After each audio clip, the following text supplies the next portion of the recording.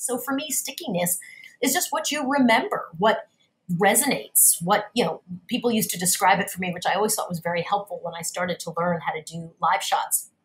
Someone would say, it's when you pick up the phone to say to your mom, Oh my God, mom, the craziest thing just happened, right? Like that's what a story should be. Why, again, I think leaders need to encourage people to share their stories because all of a sudden you realize, like, oh my gosh, you have the exact same challenges that I have, obviously different, historically different, but but clearly we're not so unalike.